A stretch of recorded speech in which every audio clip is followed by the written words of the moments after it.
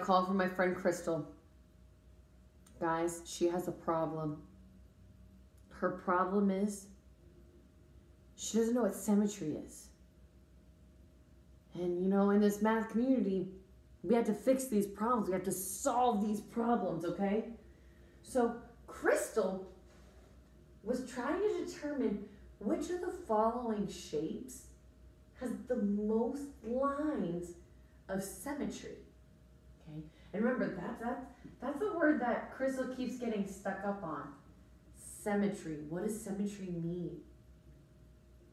Can you help Crystal by selecting the shape with the most lines of symmetry?